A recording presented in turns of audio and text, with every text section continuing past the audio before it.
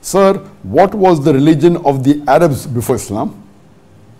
Idols in Kaaba before Islam represented which religion? Is there any similarity between Hinduism and the religion of the Arabs before Islam? What, which is the oldest religion in the world?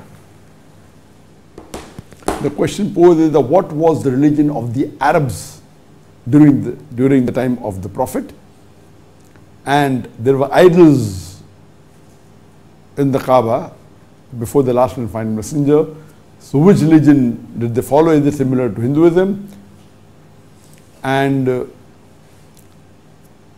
and uh, is it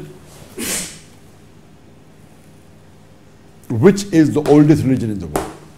Regarding the religion of the Arabs at the time of Prophet Muhammad and before, they were pagans, they were mushrikeen, they were idol worshippers.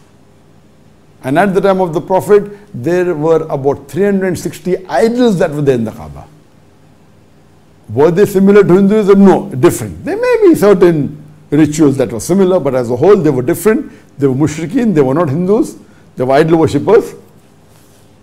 Because in Hinduism, there are 33 crore gods. There are 330 million gods. Here, only 360. So you cannot compete with Hinduism and with, and with the pagan Arabs.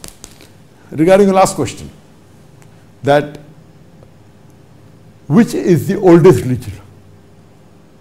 The oldest religion in this world is Islam.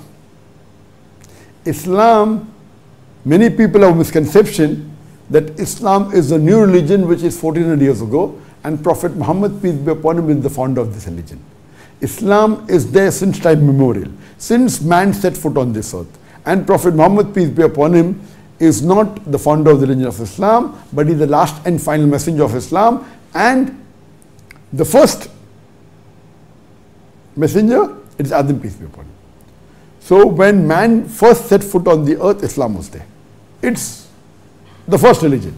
It is the oldest religion. And the first messenger was Adam, peace be upon him. And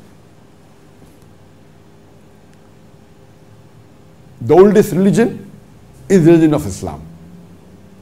And the first messenger is Adam salam, and the last and final messenger is Prophet Muhammad, peace be upon him. Hope that answers the question.